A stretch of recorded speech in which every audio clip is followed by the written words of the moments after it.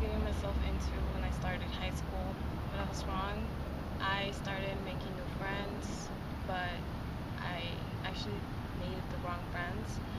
I started hanging out with people who party a lot, skipped a lot, and basically wouldn't attend school. So I started skipping a lot throughout my four years in high school, and it just became a hobby. And as much as I tried to stop skipping, it just wasn't happening. And it was just so hard for me to catch up with my work, and and it's just something that I wish I wouldn't have done.